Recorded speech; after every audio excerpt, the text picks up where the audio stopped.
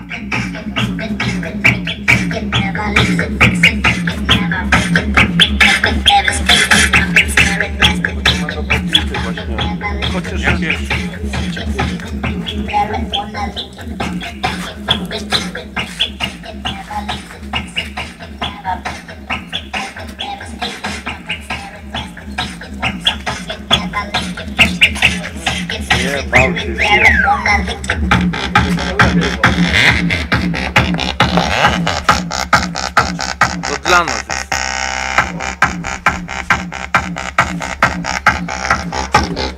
Masz popić gaz?